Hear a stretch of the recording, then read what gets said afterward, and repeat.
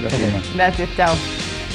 Bueno, y se supone que es el plato más económico de Chile y que todo el mundo lo puede preparar. Bueno, y este día está especial para disfrutar de un rico charquicán. Fíjese que en Peñalolén se lleva a cabo la tercera versión del charquicanazo. Bueno, y pese a que los precios han subido, aún se sigue comiendo este rico plato. Y adivine quién se encuentra en la comuna de Peñalolén con más detalles. Juan Carlos Alarcón nuevamente. ¿Qué tal? Hola Mónica Mauricio, gusto de saludarlos. 4.000 porciones de charquicán ha organizado la feria José Arrieta de Peñalolén. No solo esta feria, ¿ah? porque dicen los chiquillos que aquí participan todas, todas las ferias. Están haciendo karaoke las chiquillas allá al fondo, las mamitas, las abuelitas, las señoras de la tercera edad, las personas que estaban en talleres también ya han venido a probar estos tres tipos de charquicanes, ah, con cochayuyo, con carne y solo con verdura. Tienen que esperarse, chiquillas, porque ya van a salir cuatro minutos más la otra vuelta de Charquicán, dicen. ¿No es así, eh, Carolina, de la municipalidad, que han tenido esta buena iniciativa? Es tercera vez que lo hacen. Sí, es tercera vez, el año 2010, 2011 y ahora 2012. El 2010 fue con 1000 charquicán, después 2500 y ahora 4000 charquicán para toda la comuna de Peñalolén. Claro, preparación y son las imágenes que vamos a pasar a revisar de apoyo que empezó muy muy tempranito Carolina, esto empezó antes de las 8 de la mañana, ya estaban preparando todo, ¿no es verdad?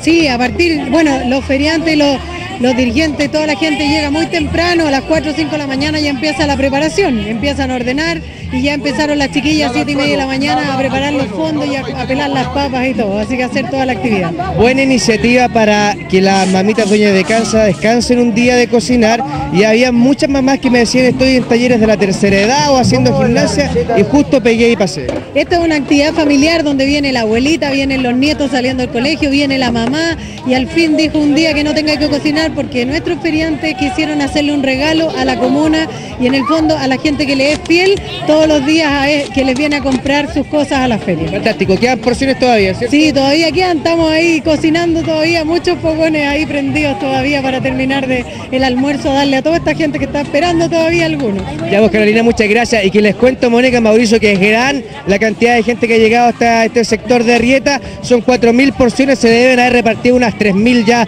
aproximadamente, pero conversamos con ellas, pues con las maestras de cocina, con las que saben cómo es la preparación. Y estas son las declaraciones, porque aquí las chiquillas nos dieron el secreto del buen, del buen charquicán. Puras verduras frescas. Verduritas frescas, cochayuyo. Ya, la para hacer un buen charquicán tiene que tener papa, zapallo, porotos verdes, choclo, ojalá también zapallo italiano, toda clase de verdura, carne molida o cochayuyo o verduras solas. Mucho más cara. Porque como le dije recién, todo sube menos los sueldos. Ahí está entonces, ¿cómo da la chiquilla? Una chiquilla de las que me he hecho amigo, ¿cómo están? ¿Cómo está la cosa tempranito? Bien, bien, bien, sí, súper bien. Sí. Porque el charquicán va acompañado también de cebollita. Ensalada de cebolla con tomate, ensalada chilena y escabeche.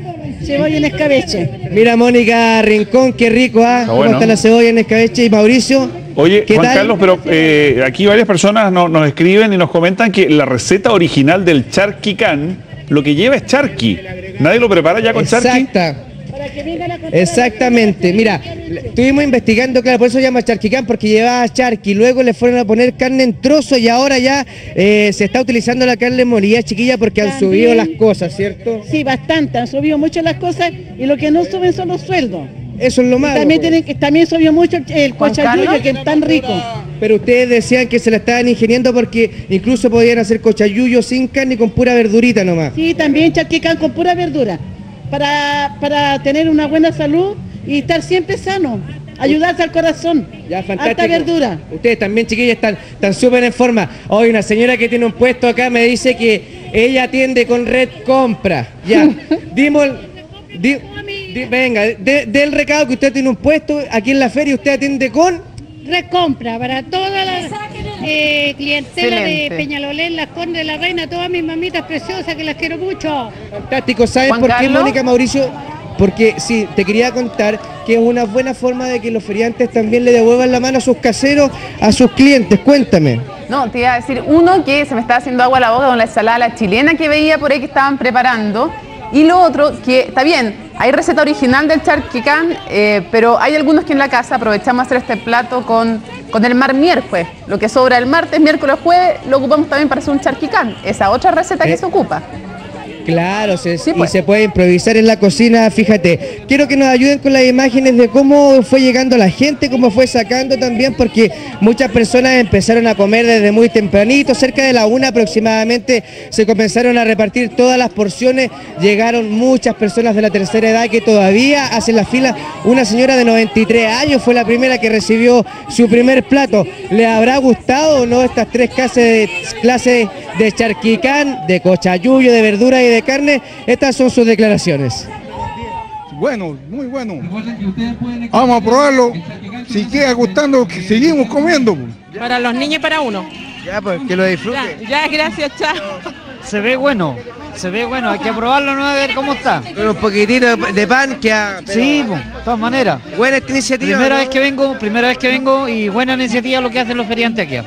Bien condimentado, está todo excelente. Está muy bueno, muy, Está bueno, ¿no? muy sabroso, muy bueno. Está sabroso. Sabroso y bueno.